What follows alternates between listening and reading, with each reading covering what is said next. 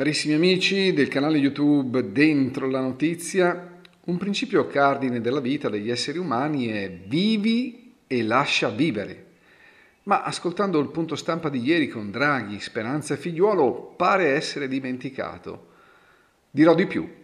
Draghi ha annunciato che è iniziata la caccia ai cinquantenni, essendo, secondo le sue parole, la categoria più a rischio. È incredibile come le fasce più a rischio siano state prima quella degli ultra ottantenni, fino a scendere di scaglione d'età man mano avanzavano le vaccinazioni. Immagino che di questo passo tra breve la categoria più a rischio sia quella dei bambini appena nati. Ascoltando questa sintesi dalla viva voce dei Magnifici Tre, si ha quasi la sensazione di venire introdotti molto velocemente in una spietata dittatura. In particolare spaventano, per così dire, i toni perentori di Draghi. Dico spaventano non tanto perché incutano timore, per carità, ma perché vengono tollerati in quello che dovrebbe essere un paese democratico. Anzi, a dire il vero, sembrano più i toni di un severo e inflessibile padre che impone determinate regole ai suoi bambini ma noi non siamo figli di draghi né dei serpenti. Abbiamo ogni diritto di decidere liberamente e senza pressione alcuna cosa fare o meno del nostro corpo e se accettare o meno trattamenti sanitari, tanto più se al momento siamo in salute. Non è una questione sanitaria, è una questione di democrazia.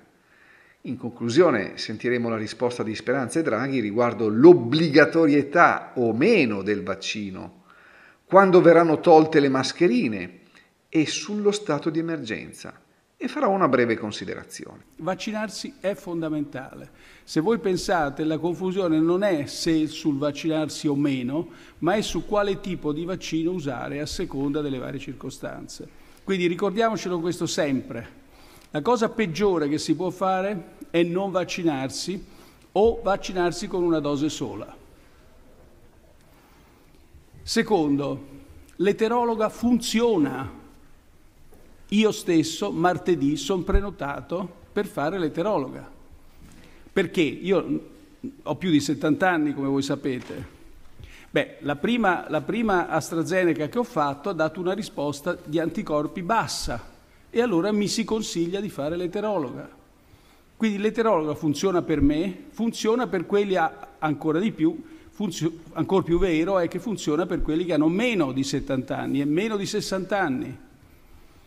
Quindi, secondo punto. Terzo, se una persona che ha meno di 60 anni ha fatto la prima dose di AstraZeneca e vuole e, e gli viene proposto, come, si, come, si è, come è stato stabilito, di fare l'eterologa, gli o lei viene proposto di fare l'eterologa, ma questa persona non vuole per qualche motivo farsi quel vaccino, questa persona è libera di fare la seconda dose di AstraZeneca, purché abbia un parere del medico e il consenso informato, informato bene la cosa peggiore da fare in quei casi è non farsi nessuna seconda dose.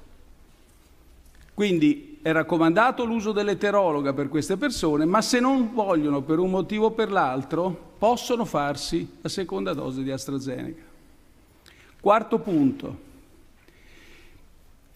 Ora la sfida principale non è vaccinare i dodicenni o i tredicenni, bisogna farlo per carità dove è cominciata questa campagna si va avanti, ma è andare a cercare tutti coloro che hanno più di 50 anni e non si sono ancora vaccinati. Questa è la sfida che noi abbiamo oggi da vincere. Sono, non mi ricordo se più di 2 milioni, non so quanti sia, il generale Figliolo sa benissimo quanti sono, ma questi sono quelli che si ammalano e si ammalano in maniera grave e quindi devono essere vaccinati. Lei non si è mai espresso in maniera pubblica su questo. Lo stato di emergenza secondo lei andrebbe prolungato dopo la data del 31 luglio? Grazie. No, è vero, non mi sono mai espresso, ma eh, se avessi avuto intenzione di esprimermi eh, mi sarebbe passata la voglia dopo aver letto l'articolo del professor Cassese ieri, che richiama tutti quelli che si vogliono esprimere prima al fatto che non si può decidere lo stato di emergenza con un mese e mezzo d'anticipo. Un'emergenza è un'emergenza che si verifica, quindi lo decideremo quando saremo vicini alla data di scadenza. Eh, come, come, è noto nel nostro Paese è stato disposto l'obbligo per gli operatori sanitari e tutti coloro che hanno a che fare con le attività di cura ed assistenza e questo lo rivendichiamo come una scelta giusta fatta dal Governo. In questo momento non c'è una previsione di altro tipo sull'obbligatorietà e vediamo una risposta molto positiva da parte dei nostri concittadini e continuiamo a confidare che la campagna continuerà con grande energia e con grande determinazione. Ma voglio dire un'ultima cosa, guardate che nonostante tutta questa confusione è straordinario come la popolazione non mostri eh, intenzione di, eh, di, diminuire la, la, la, vaccinazione, di non vaccinarsi, non, è straordinario. Rispetto ad altri paesi, è uno dei comportamenti più ammirevoli che ci, possiamo, che ci stanno davanti, quindi ricordiamocelo questo, noi indubbiamente come dire, dobbiamo essere pronti, come abbiamo fatto stasera e faremo altre volte, a chiarire ogni confusione, ogni cosa, però effettivamente il comportamento delle persone è veramente costante e straordinario. E voglio ringraziare naturalmente tutti gli italiani per questo. Notiamo che Draghi sembra, o perlomeno finge di essere meravigliato nell'aver trovato poca opposizione ai vaccini rispetto ad altri paesi e allora, se realmente così fosse, che bisogno c'è di mettere commissario all'emergenza Covid un generale e di continuare a fargli dirigere le vaccinazioni mandando i militari casa per casa a cercare i non vaccinati?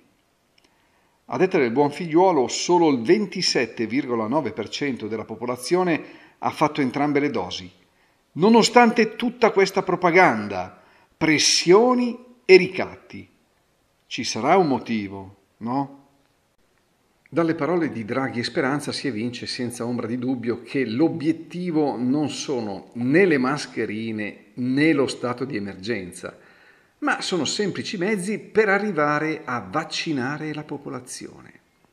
Se le elite raggiungono i loro obiettivi di numero di vaccinati, allora il buon padre Draghi potrà concederci il permesso di respirare liberamente almeno fino a che morte non sopraggiunga.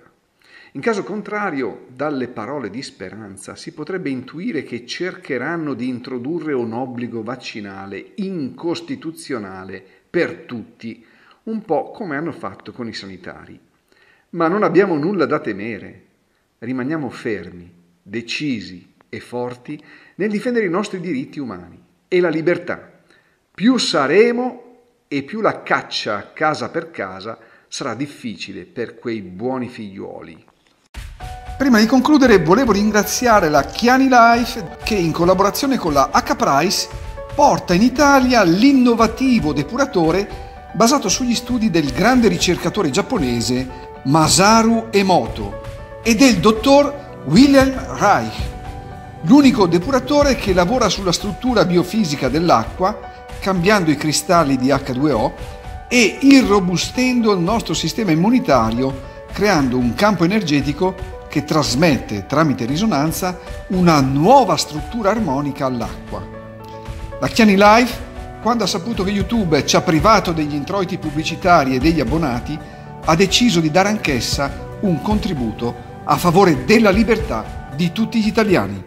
Carissimi amici del canale YouTube Dentro la Notizia, un vivo ringraziamento a tutti voi che aiutate con le vostre donazioni la libera informazione a tutela del popolo.